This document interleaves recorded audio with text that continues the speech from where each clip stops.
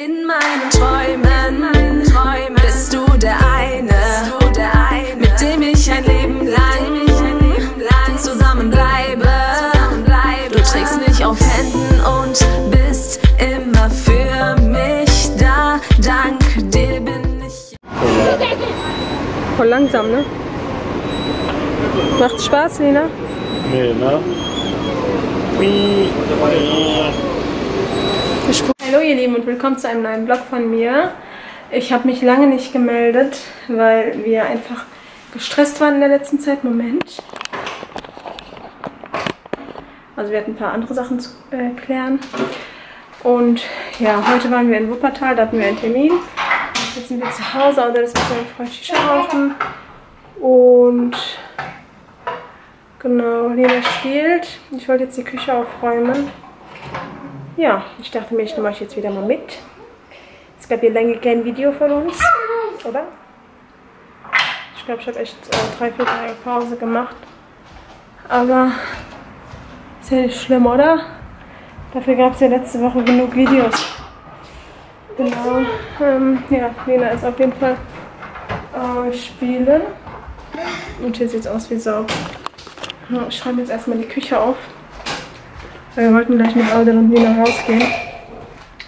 Und dann würde ich sagen, melde ich mich gleich wieder bei euch. So, bei uns gibt es jetzt äh, Wassermelone mit Mozzarella. Also die Wassermelone ist schon leer. Also Lena hat alles aufgegessen und jetzt Mozzarella. Lecker, lecker.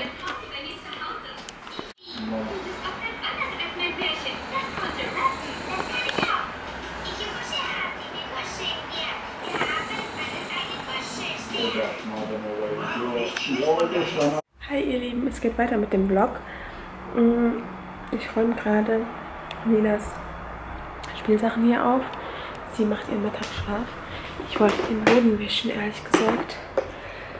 Weil morgen habe ich keine Zeit. Morgen kommt meine Mama. Da muss ich ganz früh dahin und ähm, kochen, einkaufen und alles Mögliche. Ja, morgen haben wir auch Samstag und ich will nicht, dass sie dann noch einkaufen geht oder kocht. Am Sonntag kamen wir eh überall zu. Genau. Ich muss auch gleich kochen. Ich brauche aber Schlagsahne. Ich muss gleich auf jeden Fall mal kurz mit Lena raus. Oh, der ist übrigens dann im Gespräch. Der hatte einen Termin um 15.30 Uhr. Der ist dort. Ja, ich räume jetzt so lange auf. Und dann, übrigens hat Lena diesen mm, Koffer bekommen, als wir in Wuppertal waren. So ein Doktorkoffer, den man auch schieben kann. Lina spielt jetzt die ganze Zeit damit. Oh. Und ja, das ist glaube ich ihr zweiter oder dritter Koffer. Ich weiß gar nicht. Und ich hoffe mal, dieses Mal verliert sie nicht ihre Sachen. Aber ich denke nicht, weil jetzt ist sie ein bisschen älter. Wir waren uns auch nicht sicher, ob wir den kaufen sollen, aber der ist echt praktisch. Und äh, wir spielen die ganze Zeit Arzt. Aber Auden wollte ihn eigentlich nicht kaufen, ich auch nicht, aber der hat dann nachgegeben, meinte, komm, wir kaufen das. Ja, Hauptsache sie spielt damit und ist glücklich. Oh. Ja, sonst gibt es eigentlich nichts Neues.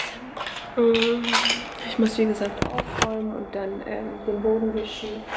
Dann mache ich mich kurz fertig. Also ziehe mir was anderes an. Ich habe nämlich eine Jogginghose an. Und dann gehe ich kurz mit Lena ähm, Sachen kaufen. Boah, wenn ich so, so sitze, sehe ich voll fett aus. Ja, genau, dann gehen wir Sachen kaufen. Und ich bin mal gespannt, was bei Auders Termin noch rauskommt. Dann melde ich mich bestimmt gleich. Ja, und ich melde mich auch gleich bei euch. So, ihr Lieben, ich habe jetzt gerade den Boden gewischt. Lena ist gerade aufgewacht. Wir gehen jetzt einkaufen kurz und danach kochen wir. Na, helfst du Mama? Hm. Ja, die Speicherkarte spinnt ein bisschen. Ich muss die Tage eine neue Speicherkarte kaufen. Ja, wir gehen jetzt auch, ne? Also bis gleich. So, wir sind wieder zurück und ich hatte keinen Bock, mich zu schminken, ehrlich gesagt. Ich habe gar keinen Bock mehr in letzter Zeit. Also, ich habe einmal Arizona gekauft. Wir trinken nichts mehr Süßes mehr. Nee, für mich habe ich das gekauft. Das ist wohl ohne Zucker. Dünne Tarndeckel. Dann für Lina zweimal äh, Fruchtzwerge Koichi. Zweimal Schlagsahne. So, dann einmal Ofentortellini alla Panna. Ich weiß, diese Woche schon zweimal. Shame on me. Naja, danach ähm, Kartoffelgratin, aber die lieben wir wirklich sehr, sehr, sehr, sehr, sehr, sehr, sehr. Dann für Mami, also für mich, ich weiß, da darf man nicht viel essen und bla bla bla. Ähm, aber ich esse nur zwei, drei Stück. Ich hatte halt Lust drauf, dann, dann kaufe ich das auch. Rittersport war im Angebot. Ich mag da diese Weiß Crisps ganz gerne. Dann für Audit habe ich einmal das hier geholt. Der mag hier Saures total. Was denn? Mama, ja, wir kochen jetzt zusammen. Du kannst dich gleich da draufsetzen, ja? Also ich mache Ofentortellini, aber... Naja, auf jeden Fall äh, Mozzarella, dann äh, Lutscher. Die waren übrigens zum Angebot. Hier. Dann Brötchen. Nina hat sich Erdbeeren ausgesucht. Erdbeeren. Basarkäse. Und zweimal Putenschinken. Da kommt wohl Schinken rein. Ich habe noch nie Putenschinken gegessen. Ich hoffe, das schmeckt. Mm. Ja, mal schauen, ne? Ja, ich koche jetzt auf jeden Fall und danach äh, ist Auto hoffentlich gleich da. Dann können wir zusammen essen. Aber der müsste jetzt gleich da sein, der ist nämlich auf dem Weg. Lina? So, bei uns gibt es heute fetten Pfannkuchen. Nein, nein, ich habe schon Schatz. Und äh, wir essen das jetzt. Auto schläft noch. Aber für den lassen wir natürlich auch was übrig. So ihr Lieben, ich bin jetzt bei meiner Mama. Ich habe mich gerade fertig gemacht. Ähm, ich habe die Wäsche schon eingeschmissen. Sie hat nämlich noch draußen Wäsche. Und ja, jetzt gehen wir kurz einkaufen.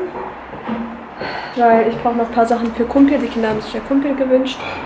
Und äh, sonst brauchen wir halt noch Tomaten, Gurken und sowas. Das hole ich jetzt kurz mit Nina und dann äh, fährt Audrey die jetzt gleich auch abholen. Ja. Und dann bin ich mal gespannt. Wie ist in der Türkei so war, vier Wochen lang. So ihr Lieben, wir sind wieder zu Hause. Ich bin kaputt, ey. Ich krieg so schwer Luft, obwohl ich nur ein paar Sachen gekauft habe. Und die nicht mal getragen habe, ne? Das ist so fürchterlich. Fürchterlich, fürchterlich. Ich wollte euch mal kurz zeigen, was ich geholt habe, damit der Vlog nicht allzu langweilig wird. So. Und zwar habe ich einmal Brot gekauft für morgen früh. Dann Tomaten. Und dann einmal diese dicken Dinger, zwei Packungen. Also hier ist noch eine Packung. Dann Möhren. Zweimal geraspelten Gouda.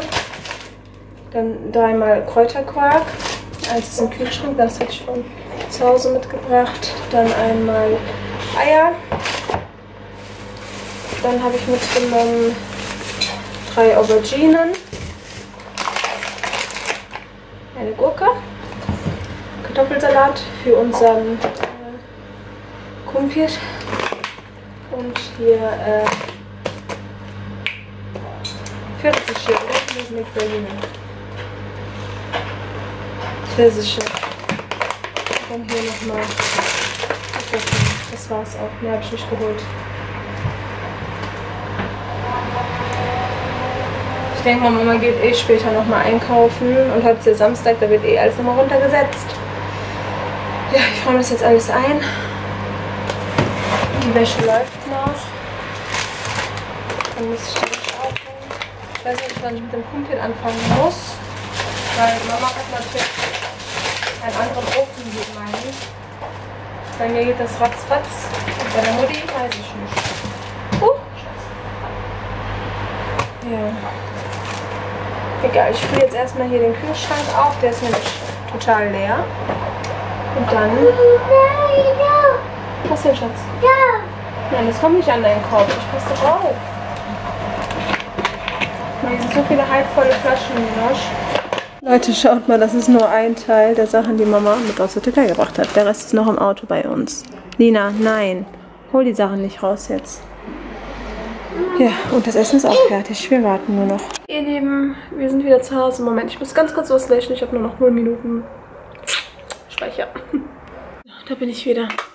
Und zwar ist meine Mama jetzt zurückgekommen. Und wie heißt es? Äh, Mama halt viel zu tun hatte. Ich habe heute Morgen gebügelt und so. Und die hatten bestimmt zwei, drei Koffer zum Bügeln. Ich habe dann ihr geholfen.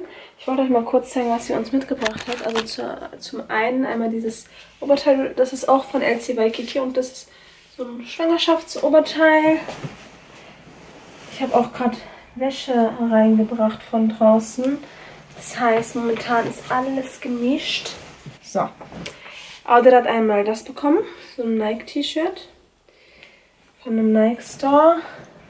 Mama meinte extra das Original Audrey. extra für dich. Dann habe ich diese Hose bekommen. Die kann ich dann anziehen, wenn ich nicht mehr schwanger bin. Und noch dieses Oberteil. Da ist auch noch das Etikett dran. Das muss ich alles äh, waschen. So, dann habe ich diese Ohrringe bekommen. Sieht man die? Die hier.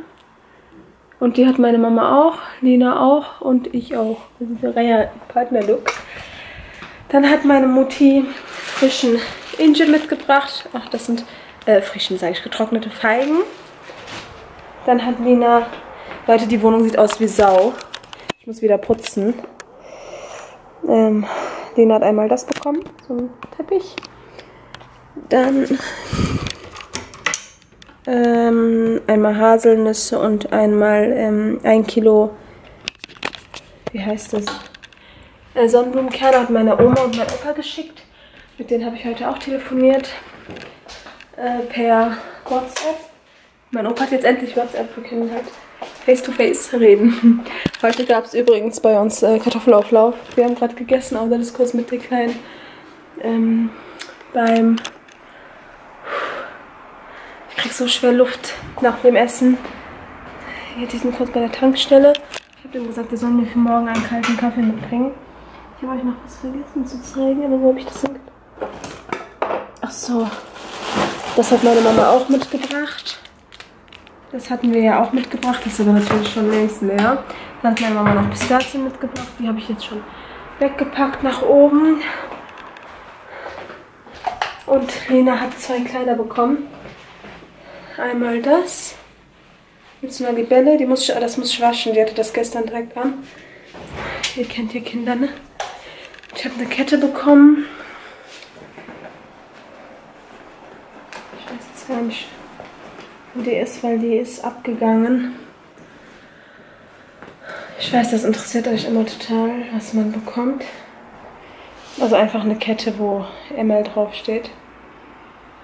Um, von Hakan. Und dann hat Auder noch einen Schlüsselanhänger bekommen. Da steht Auder Said. Äh, der hat auch noch ein Feuerzeug bekommen mit seinem Namen. Aber das haben wir nicht gefunden. Und zum Schluss, oh, ich kann nicht mehr, ähm, hat Lina noch dieses schulterfreie Kleid bekommen. Richtig schön. Das hatte sie auch gestern an. Ich habe es aber jetzt versteckt, damit sie das nicht wieder anziehen will. Und jetzt muss ich Staubsaugen. Später gucken wir einen Film mit Auder. Und wir hatten 2015, da habe ich noch kein YouTube gemacht, nee 2014, ähm, einen Flüchtlingsjungen bei uns hier in der Wohnung. Der ist aus dem Irak gekommen. Der hat einen, einen Monat bei uns gewohnt.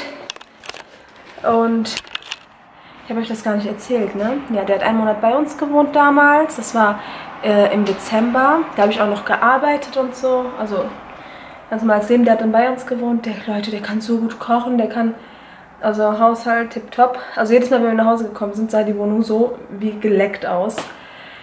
Der ist wirklich, in der Hinsicht ist der wie eine Frau, echt. Also der ist so sauber, kann so gut kochen. Und äh, wir haben halt mit meiner Schwiegermama telefoniert. Aude hat Lust auf Dolma, aber dieses Kurdische und ich kann das nicht. Und ähm, wir wollten äh, an Bayram zu Shivans Mama. Ich weiß nicht, warum wir nicht gegangen sind. Ich glaube, die hatten keine Zeit, ich weiß gar nicht. Und äh, ja, Audel hat dann, dann angerufen und meinte, der wohnt übrigens jetzt bei einem Arzt. Ein Arzt hat ihn aufgenommen, voll nett, der ist aber auch krank. ja, der hat damals auf jeden Fall Asyl beantragt. Ja, und der kann sehr gut kochen. Und Audel meinte, kommst du Dienstag zu uns, dann kannst du ein paar Tage bei uns schlafen, dann kannst du Schöfte machen. Köfte, Köfte ist das, glaube ich, bei denen ähm, und Dolma. Und ich meinte, wie? Kann der Dolma? Meinte er, der, der kann das sehr, sehr gut. Und meine Schwiegermama meinte, ja, geh zu denen, meine, äh, meine Schwiegertochter ist schwanger. Wenn sie Lust drauf hat, dann macht das. Aber Hauptsache auch, der hat Lust. Der nutzt mich natürlich aus, ne? Ja, ansonsten äh, freue ich mich auf jeden Fall, dass er kommt. Wir haben uns auch lange nicht gesehen. Ich glaube, das letzte Mal, da war ich noch schwanger. Ich weiß gar nicht mehr. Ja, auf jeden Fall ähm, hoffe ich, dass er hier bleiben kann. Der kann auch sehr gut schon Deutsch sprechen. Und ja, ich finde Leute, die sich wirklich in Deutschland anstrengen und Asyl bewerben, also die was wirklich erreichen wollen, die die Sprache lernen und nicht nur das zu Hause rumsitzen und nichts tun, denen sollte man wirklich eine Chance geben.